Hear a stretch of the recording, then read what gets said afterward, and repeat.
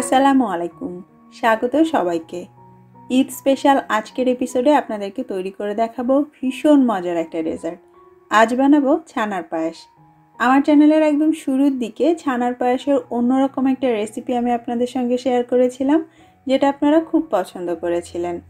আজকে একটু ভিন্ন ধাঁচে সম্পূর্ণ নিজের রেসিপিতে অন্যরকম একটা ছানার পায়েস আপনাদেরকে তৈরি করে দেখাবো এবং আমার বিশ্বাস এই ভিডিওটা দেখার পর এবারের ঈদে আপনারা অনেকেই এটা ট্রাই করবেন। রসমালাই এবং সীতাভোগ মিষ্টির একটা কম্বিনেশনে তৈরি এই ছানার পায়েস দেখতে যেমন চমৎকার, বানাতে সহজ আর খেতে তো একদম লাজব। আশা করছি আপনারা যারা মিষ্টি খেতে পছন্দ করেন, তাদের আজকের এই রেসিপিটা খুব ভালো লাগবে। আজকের ছানার পায়েস তৈরি করার জন্য সবার প্রথমে আমাদের লাগবে ছানা। এখানে আমি এক কাপ ছানা নিয়েছি। কেটে যাওয়া দুধের ছানা বা ঘরে তৈরি ছানা, যে কোনো ছানা দিয়ে আপনি এই পায়েসটা তৈরি করতে পারেন।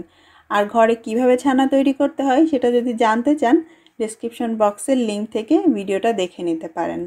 এক কাপ ছানার সঙ্গে আমি দিচ্ছি এক চা চামচ ময়দা, এক চিমটি পরিমাণ দিচ্ছি বেকিং পাউডার এবং সেই সঙ্গে আধা চা চামচ দিচ্ছি তেল, চাইলে ঘিও দেওয়া যাবে।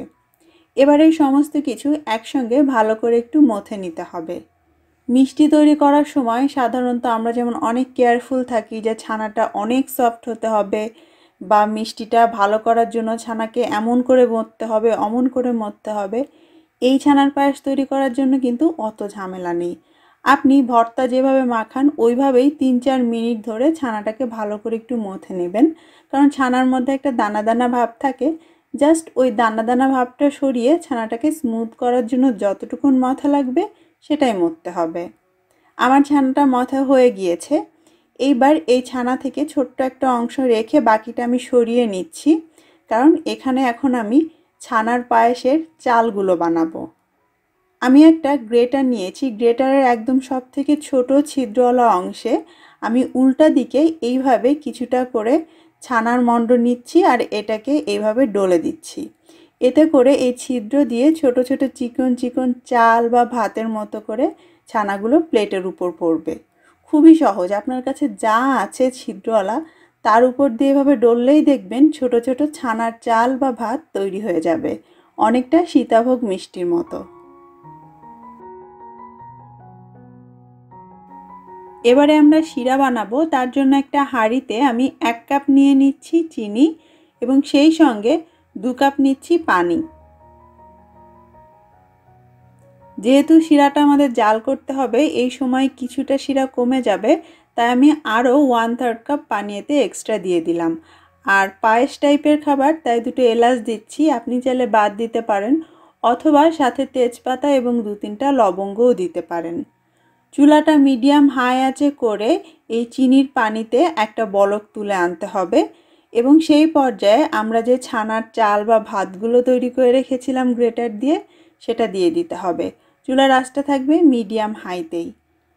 সম্পূর্ণটুকুন ছানার চাল এর মধ্যে দেয়া হয়ে গেলে ভালো করে একটু নেড়ে মিশিয়ে নিতে হবে, তাহলেই দেখবেন ছানার দলাগুলো খুলে যাবে।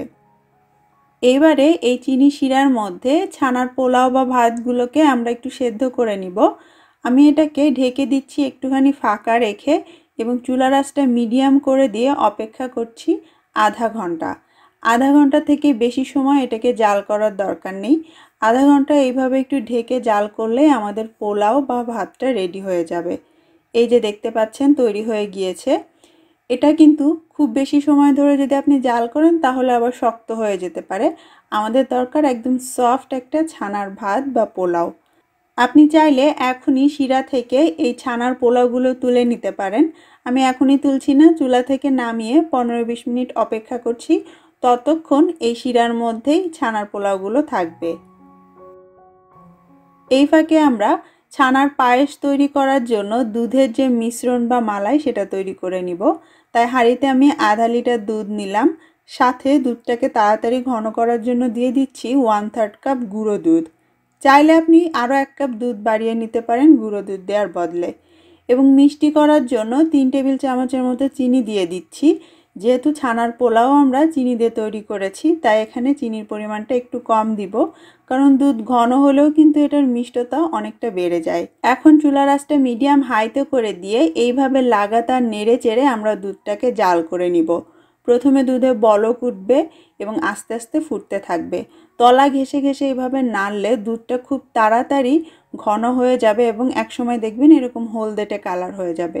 আপনার পছন্দ মতো যতটা ঘন আপনি করতে চান ততটা ঘন করে নিতে পারেন। আমি মিডিয়াম হাই আছে, পনেরো মিনিট ধরে এইভাবে জাল করে দুধটাকে ঘন করে নিয়েছি। এবারে নামিয়ে নিব।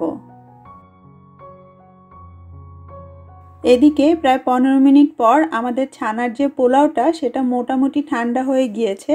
এখন শিরা থেকে আমরা পোলাওগুলো তুলে নিব। একটা ছাকনির সাহায্যে করলে রসটা বাদে আপনি শুধু পোলাওগুলো নিতে পারবেন। এখানে চিনি শিরাটা আমরা নিব না, তবে এই শিরা ফেলাও যাবে না। আপনি চাইলে চালের পায়েস বা হালুয়া টাইপ কিছু এই শিরা দিয়ে রান্না করে নিতে পারেন। তারপর যে পাত্রে আপনি সার্ভ করতে চান, সরাসরি সেই পাত্রে পোলাওগুলো ঢেলে নিতে হবে। অল্প একটু রেখে বাকিটা ছানার পোলাও আমি এই হাঁড়িতে নিয়ে নিলাম। এবং সেই সঙ্গে আমরা যে দুধের মালাইটা বা ঘন দুধ তৈরি করলাম, সেটা এর মধ্যে দিয়ে দিচ্ছি। দুধটা এই পর্যায়ে হালকা গরম অবস্থায় আছে।